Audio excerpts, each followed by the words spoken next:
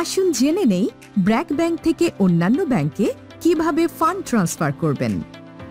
Dashboard থেকে transfer button tap করুন। Other bank option select করুন।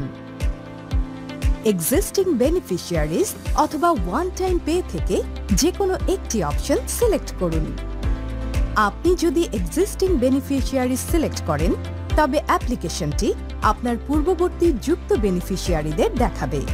আপনি যে কোনো বেনিফিশিয়ারি সিলেক্ট করে পেমেন্ট ডিটেলস পেজে যেতে পারবেন। ট্রান্সফার চ্যানেল সিলেক্ট করুন।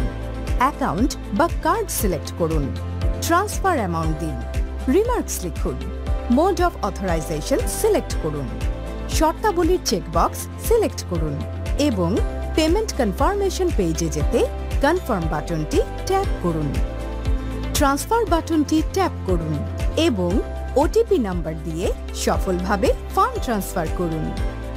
আপনি যদি ওয়ান টাইম পে অপশনটি সিলেক্ট করেন, তাহলে আপনাকে পেমেন্ট ডিটেলসের পেজে নিয়ে যাওয়া হবে। ট্রান্সফার চ্যানেল সিলেক্ট করুন। অ্যাকাউন্ট বা কার্ড সিলেক্ট করুন। বেনিফিশিয়ারি অ্যাকাউন্ট টাইপ সিলেক্ট করুন।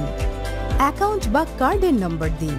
বেনিফিশিয়ারি ব্যাংক ও ব্রাঞ্চ সিলেক্ট করুন। ট্রান্সফার অ্যামাউন্ট দিন। রিমার্কস লিখুন। মোড অফ অথরাইজেশন সিলেক্ট করুন। শর্তাবলীর চেকবক্স সিলেক্ট করুন এবং পেমেন্ট কনফার্মেশন পেজে যেতে কনফার্ম বাটনটি ট্যাপ করুন। ট্রান্সফার বাটনটি ট্যাপ করুন এবং ওটিপি নাম্বার দিয়ে সফলভাবে ফান্ড ট্রান্সফার করুন। আপনার বেনিফিশিয়ারির ব্যাংক যদি এনপিএসবি সাপোর্ট করে, তবে আপনি ইনস্ট্যান্ট টাকা ট্রান্সফার করতে পারবেন। এছাড়া আপনি বিইএফটিএন এর মাধ্যমে ফান্ড ট্রান্সফার করতে পারবেন। BRAC bank Astha bank smart.